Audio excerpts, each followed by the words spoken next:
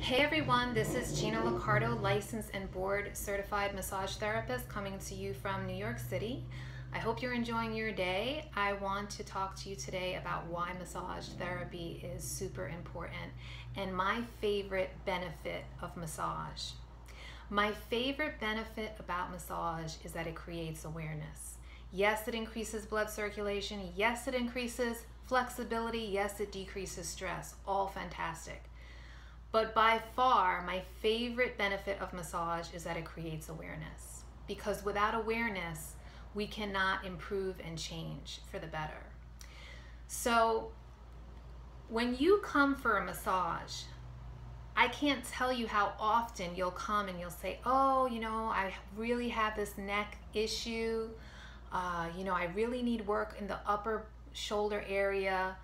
And then I get you on the table and I I get to the lower part of your body and something there is tight, and you're like, oh my God, I didn't even know that was tight.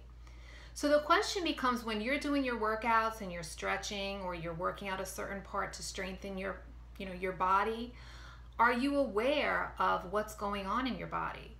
Nine times out of 10, there's something you don't know is going on. And that's one of the wonderful things about massage is that when you get on the table, it's your place to just be silent. And through my palpation of touch, I'm actually kind of walking up your body and letting you know, hey, this feels a little bit tight. Wow, this muscle feels really weak.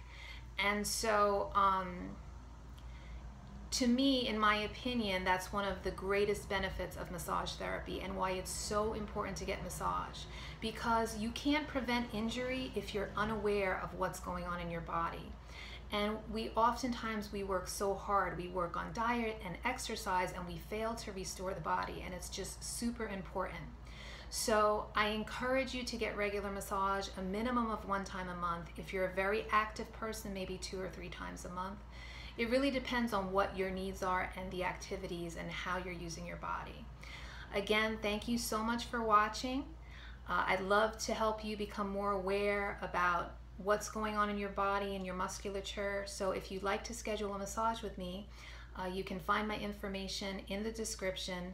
I also offer a self-massage course online that's very affordable. Uh, you're more than welcome to look in the description for that as well.